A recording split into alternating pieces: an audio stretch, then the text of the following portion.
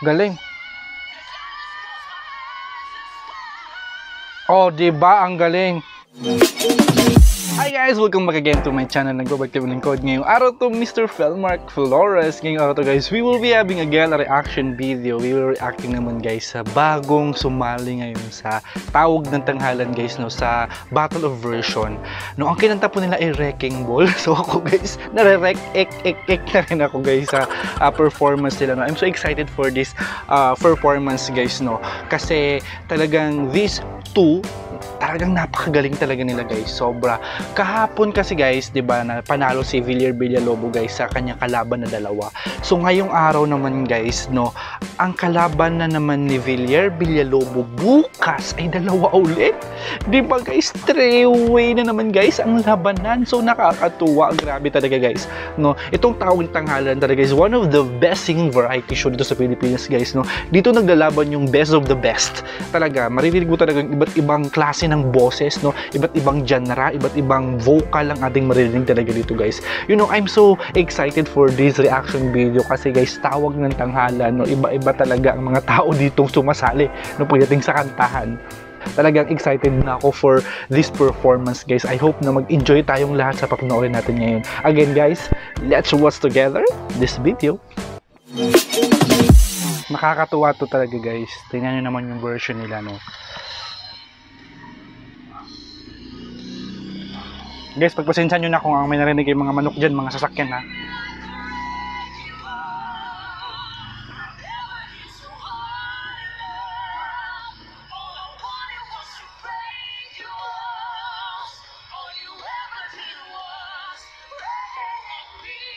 Ganda guys, no? Oh, ang taas din ng boses ng lalaki guys. Galing din ng babae, aba. Alam nyo, maganda talaga yung mga streamer ka, tsaka yung may mga banda ka talaga guys, no? mas lalong nahahasa yung boses mo. Kasi pagdating sa tanghalan talaga, meron ka talagang dalang baon. No? Talagang alam mo na sa sarili mo na hindi ka tapon talaga. ba dito kasi sa dalawang ito, talagang ano sila guys, parang meron silang stream lagi, lagi silang nagla-live. Hindi ko alam, baka sa Kumu, ba? Maganda din yung kasi mas lalong napapractice yung kanilang pagkanta, 'di ba? Tayo naman kasi as a fan kasi, hindi naman tayo kagalingan sa pagkanta, 'di ba? Hindi naman tayo katulad ng iba na singer talaga talagang meron ng pinagmamalaki sa industry. Tayo lang naman ay nagbibigay lang ng opinion, no? kasi tayo mga fan, naririnig din naman natin eh kung ano ba yung mali doon sa kumakanta, ano ba yung magandang ginawa ng singer, 'di ba? Ganun naman tayong mga fans, 'di ba?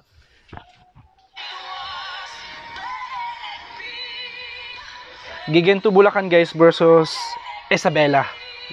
Alam mo, gagaling yung taga Bulacan eh. Dati ako nagawi dyan sa may ano, may kawayan Bulacan guys. No? Dyan ako. So si girl mo na ang una.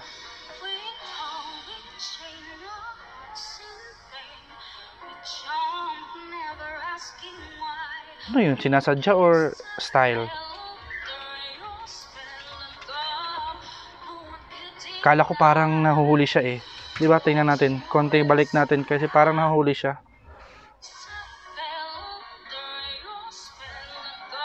Ayan ah, parang sinyoy na ano siya, nag nag-iisip kung masunod ba or, or what.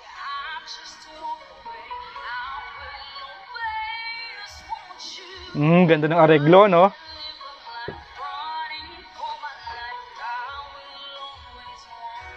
Galing ng bale. Gusto ko 'yon. Ay. Teka, teka, teka. Hindi ko klaro.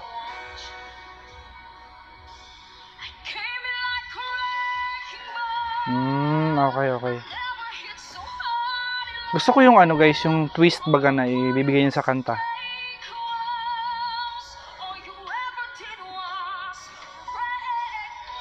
Ganda ng boses niya. Ay, ang ganda, ang ganda ng low register niya guys. Tingnan nyo. Tingnan nyo guys.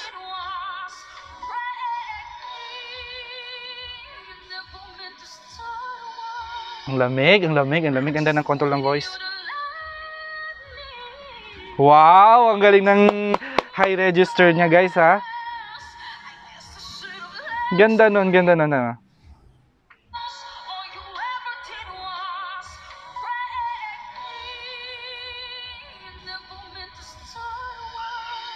Ah, tingnan nyo guys.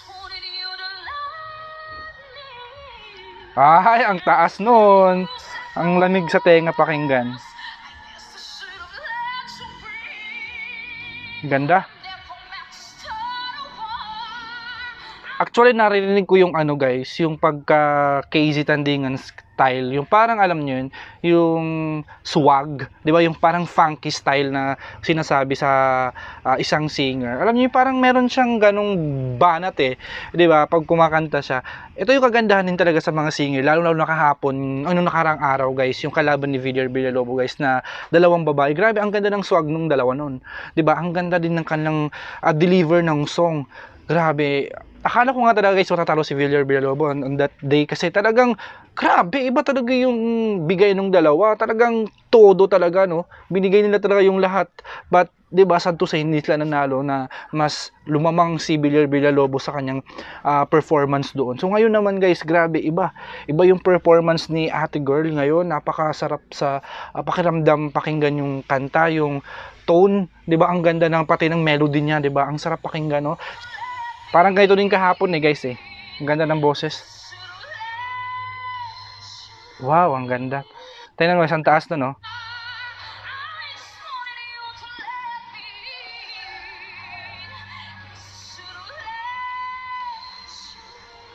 Galing, galing, galing, galing.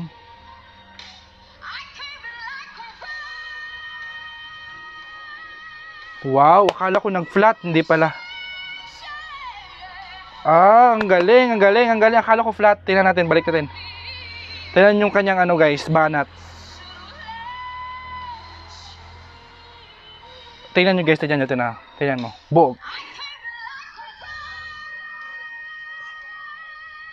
Akala ko flat, hindi pala. Ah, ang ganda ng kanyang bale. Galing. Ang ganda ng kanyang ano guys, no? Yung stage presence. Oo, oh, yung kanyang, alam niyo yun, yung kanyang ano talaga, yung kanyang punky style, no? Galing.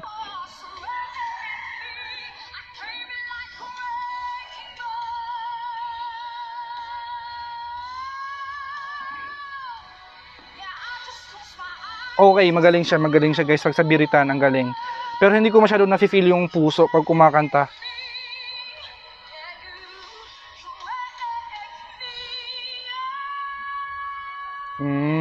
Okay, okay. So, comment muna ako doon guys sa part na yun ha. Kasi medyo ako hindi ko nafe-feel yung heart doon sa song. Kasi syempre parang kumakanta lang siya na bumibirit lang, ganun, 'di ba? Binibigay niya yung kanyang ano, kanyang performance na 100% binibigay. Pero I don't feel the style of ano, yung matatouch talaga yung heart ng isang manonood, no. De, totoo 'yun kasi 'di ba tayo naman talagang manonood, no? Um, lahat ng ating napapakinggan sa Tawang Tanghalan, meron talaga silang ability to touch people heart. 'Di ba like Marco Rudio, Villar Villalobo, si JR, yan sila mga yung mga nakapasok na sa semi-finals, no meron silang ability na ganun na ma-coat up talaga yung tao. Pero sa performance niya, okay naman siya, okay talaga siya. Pero nagkulang lang ako sa puso. No, gusto ko yung storyteller style talaga na hinahanap ko na magugustuhan ng tao, 'di ba? Siguro sa susunod na performance niya, sana ibigay niya 'yon, 'di ba? Ibigay niya 'yon. So ngayon naman, sino naman 'to? Ah, yung boy. Ganda, ganda ng low register. Ah, chest pala yung kinukuha. Parang sa chest niya kinukuha, no? Ang hirap din ko yun ng ganyan. Ah, yun. So, for me, parang nafe-feel ko na yung kanyang song. Alam niyo parang, parang R&B style na gano'n. Parang may sariling bale. Ang kagandahan talaga dito guys sa tawag ng tanghalan is yung ano, yung areglo ng song. 'Di ba? Kung ano man yung siguro ginagawa ng areglo, napaka ano, napakagaling talaga. Thumbs up. Isang magaling na uh, uh, areglo yung ginagawa dito sa tawag ng tanghalan. Talagang sila lang yung nakakagawa ng ganito. 'Di ba? Napaka-clear ng um, um, version, napaka-clear ng kanyang ng kanilang ano, ng kanilang uh, pagkuha o pag ano, pag pagtugtog sa kanta, 'di ba? 'Yun ang naman ang hinahanap dito eh, yung alam mo kung paano ka sumabay sa song, 'di ba? Kasi pag maganda yung areglo, syempre maganda din yung performance din ng ng isang uh, singer. 'Di ba? Ginagalingan din nila. Syempre, ang areglo is the best eh. 'Di ba? Syempre, ikaw ba naman singer, hindi mo gagalingan yung areglo. 'Di ba? Para ma-quote up mo yung tao, yun ang gagawin talaga. 'Di ba?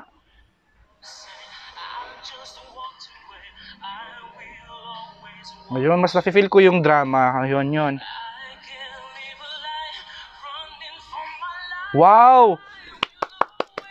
Wow, gusto ko yun. Tingnan nyo guys. Good night.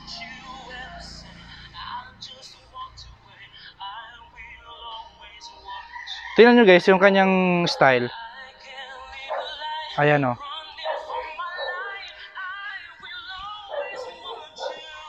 Ayan yun, yun yung mga gusto ko.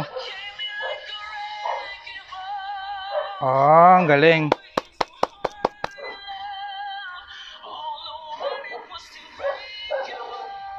Actually, mas nafe-feel ko yung ano, puso sa kanyang performance talaga. Siguro, kasi pag boy ang kumanta talaga, no, talagang more on heart yung nararamdaman ko. Kasi yung boses din niya, parang merong rask, rasky tawag ba yan? Mga ganyan-ganyan. Kasi parang, ano eh, siya lang yung gumagawa ng ganong style dito sa kanilang dalawa.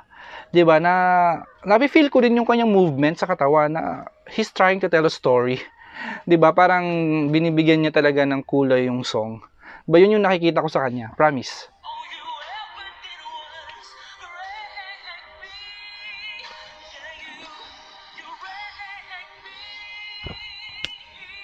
Ayan oh, 'di ba? Ganda, galing, tinang galing, tinang balik natin konta. Oh.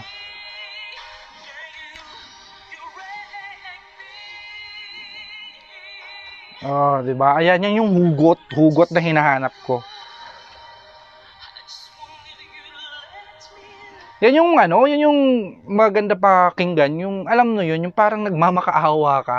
'Di ba? Parang mas nafi-feel mo yung song eh pag gano'n ang pagkanta ng isang singer, 'di ba? Parang tayo mga fans tuloy ng Taong ng Tanghalan. Parang gusto nating makita pang kumanta siya ng mga ng mga ibang song kasi meron siyang ability to touch people heart. No? Yun yung talagang ano eh, the best talaga sa isang performer, 'di ba? Na makuha tayo, makuha tayong manonood. Yun naman talaga eh. Pero binigay niya talaga guys yung hinahanap ko.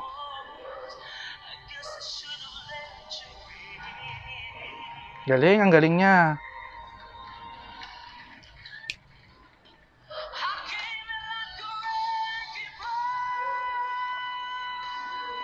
Ay, mataas din ang boses niya. Wow, ang galing din niya. Ang galing gina, ang galing, galing, galing, galing. Ano guys? Ah, meron siyang baon din guys ha. Ang galing niya. Ay, ang galing, ang galing, ang galing, galing ng high register niya. Ang galing. Mhm. Galing. Kaboses niya si JR ha. May hawig sila ni JR guys sa semi-finals. Well, ang ganda ang ganda ng kanyang pagkanta doon sa part na yun, guys. Akala ko wala siyang alam niyo yun, yung parang ibang atake sa song, no. Galing, meron talaga silang ano guys, meron talaga silang comparison yung dalawang performer na nandito, no. May iba't ibang baon. Ito naman more on heart. I feel I feel the pain eh sa song. Yung babae naman iba yung atake niya, no. Biret, 'di ba? Iba iba din, iba. Ang galing ng mga performer talaga guys sa tawag tanghalan. Pang world class talaga ang tawag ng tanghalan, guys. Galing.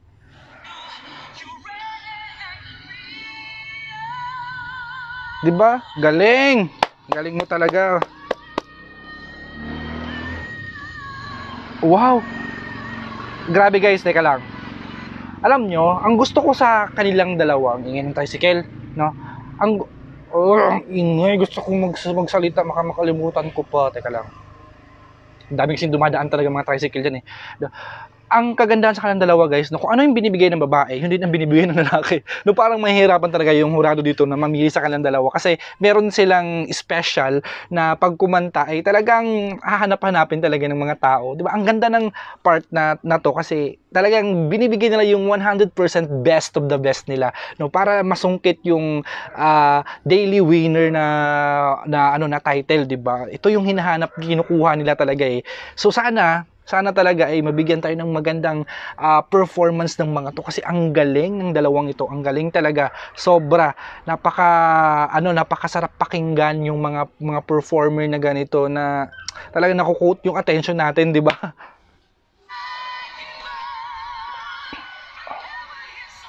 Tingnan mo yung banat ng babae, guys. Yung meron ding banat si ano, guys, si Harley, tsaka si Shamay. Meron din siyang banat.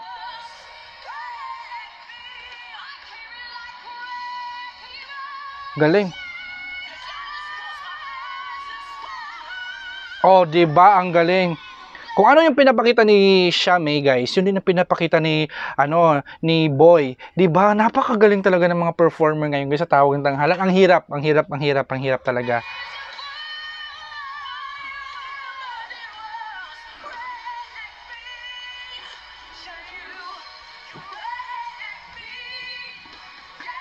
Actually, ang hirap guys no sa part ni Villar Villalobo guys na pangalawang beses niya nang uh, kakalaban ng dalawang ano, dalawang performer. No? Grabe, isang ano, isang honor sa atin na makita si Villar Villalobo na 'di ba kinakalaban yung dalawang daily winner. No, grabe twice na niya tong gagawin guys. Nung nakaraang araw, ginawa niya to. Tapos bukas ulit gagawin niya to guys. Grabe, iba. Iba talaga. Kasi ang gagaling naman talaga ng mga performer dito guys sa tawag ng tanghalan. Wala naman talagang tapon. Talagang mahirap itapon yung mga ganitong performer, di ba?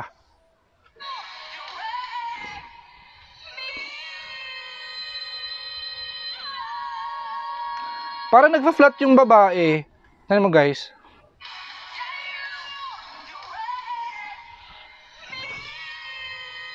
Oh. Galing. Magaling naman talaga sila eh. Magaling naman talaga eh. Standing ovation nga ng Horado oh.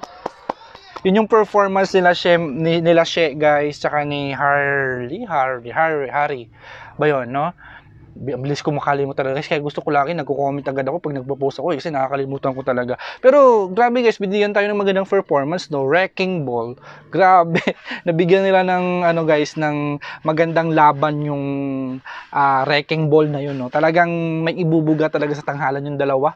Grabe hindi nagpapatinag yung isa. Hindi din nagpapatinag yung isa. Talaga kung may binibitawang mga uh, magagandang part si girl ganun din si boy. No, para ang hirap ang hirap talaga mamili as a fan kung sino yung mananalo. Kaya 'di ba deserve sa kanila na uh, mag-tie dito sa uh, round na to. The best talaga, the best talaga ang tawag ng tanghalan. Talagang hindi nila pinapakawalan yung mga ganitong singer, no. Talagang gusto muna nilang itapat sa sa quarterfinals list yung ganitong mga singer. Grabe, ang galing. Ayun na nga guys, no. I hope na nag-enjoy tayong lahat. This is Falmer Flores, nagsasabi sa yung lahat, ang pink kamong tanan. At don't forget to subscribe and click the notification bell for more updated videos sa ating channel.